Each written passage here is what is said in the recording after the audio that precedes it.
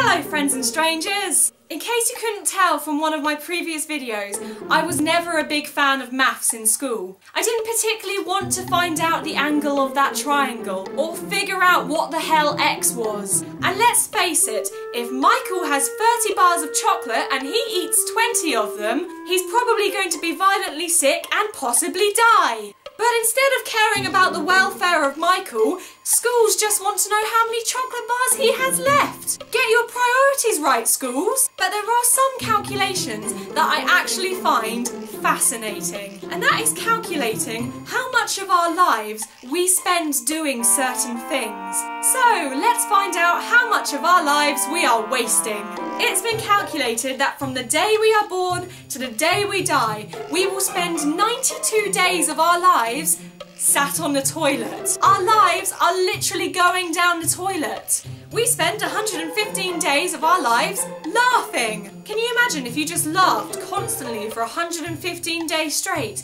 God, your abs would kill you. I've never been a fan of smoking, and if it's true that a smoker will waste 160 days of their lives stood outside having a fag break, then I don't think I'm to take up the habit anytime soon. We spend 26 years of our life in bed sleeping.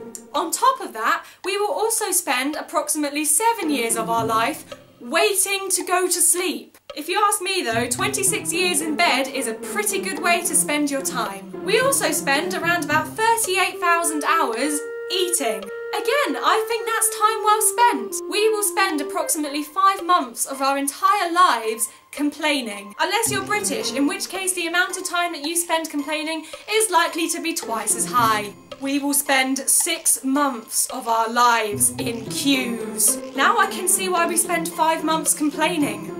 Apparently, we will spend five years of our lives on the internet. Somehow, I don't think they've taken the amount of time I spend on Tumblr or YouTube into consideration. If they did that, I'm sure they would tell me that a good 50 years of my life has been spent on the internet.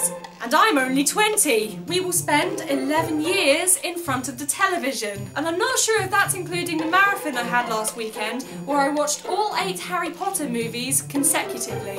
Men will spend approximately 46 days getting ready for special occasions. Women will spend 136. Furthermore, while men will spend approximately 3,000 hours of their lives shaving their face, women will spend nearly 50,000 hours shaving their entire body. It's estimated that we spend 24 minutes a week shaving our legs alone. It's times like this that I regret being born with a vagina. Damn you society and your ideas about women's beauty. Whoa, I just got serious there. Women will also spend about 96 minutes a week just applying their makeup, and then we will spend a further 20 minutes a week taking it off.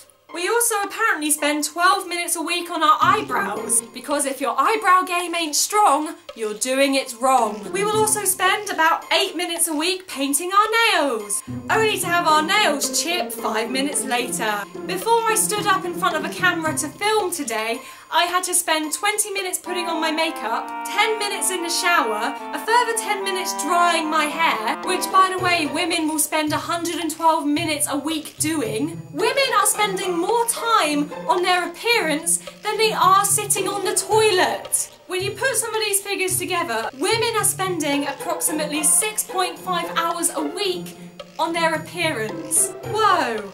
That's quite a lot of time. I love my life! And I think you have to ask yourself, is all of this worth it? Some of the things on this list are essential for healthy functioning lives, but sometimes I find myself wondering, is it really worth it that I will spend so much of my life just applying makeup and shaving my legs? And I think the answer to that question is, if it makes you feel good and you enjoy it, then yes, it's 100% worth it. However, if you're only doing it because you feel under pressure to do it, because let's face it, people, especially women, are under immense pressure to look and feel and be and dress a certain way. And if you're doing something not because you want to do it, but because you feel you have to do it, then let me tell you now, you don't have to do it. If you want to spend your time doing something else, then that's great. And don't let anyone tell you otherwise. I think what I'm trying to say is life is short and we shouldn't be wasting it doing things that we don't need to do or we don't want to do.